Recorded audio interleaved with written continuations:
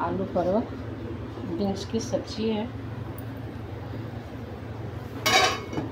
मैंने दाल बना दी कुकर में चावल भी लगा दी।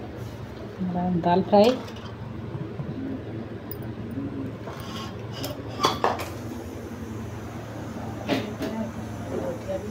हूँ। अपने वीडियो देखो, लाइक करो, सब्सक्राइब करो धन्यवाद हर हर समूह। आज बना रहे हैं बाजरे की रोटी।